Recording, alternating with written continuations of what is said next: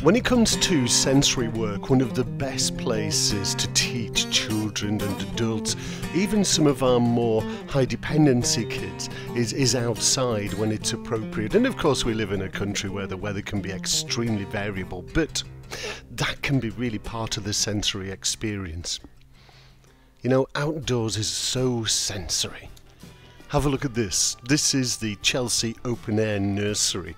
I have to say that uh, Kathryn Solly, the head teacher, and the team here have just such a fantastic space islands of learning, places where kids can really experience what it's like to be outside, feeling the wind, feeling cold, feeling warm, getting wet, getting dry, all of those essential experiences.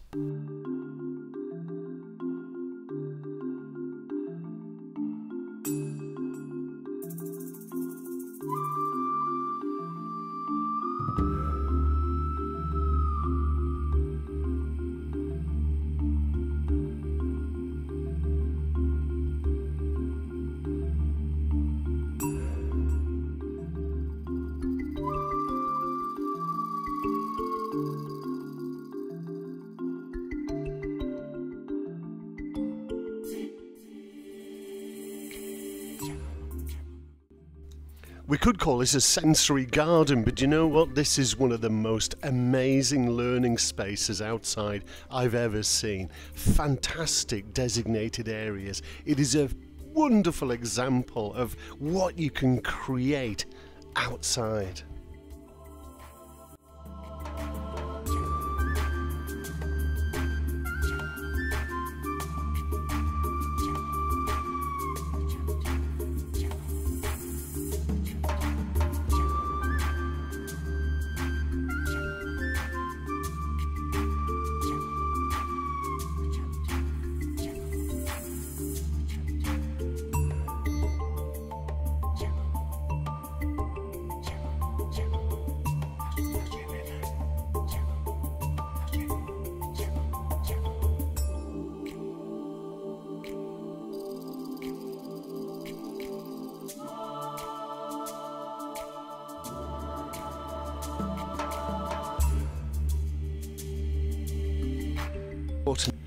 That's wonderful, isn't it? Chelsea Open Air Nursery. Really, really nice. Here's an idea we haven't seen for a while. These OTs used to make these, and physios used to have boxes.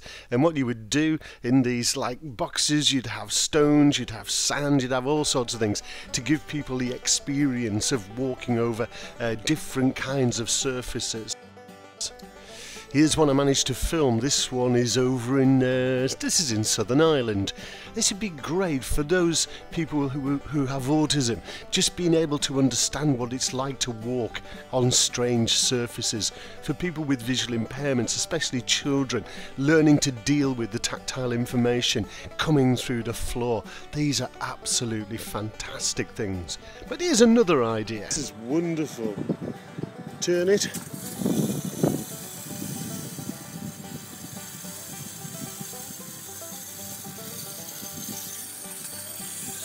An outdoor rainmaker. I do like that. There are so many ways to make outdoors really interactive. This was a fantastic. Have a look at this. This was a brilliant spinning disc that I found in a school. It really does your eyes in, but it's wonderful.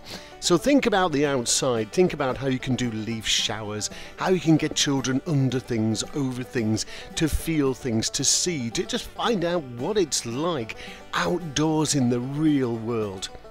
It's wonderful and a great sensory room.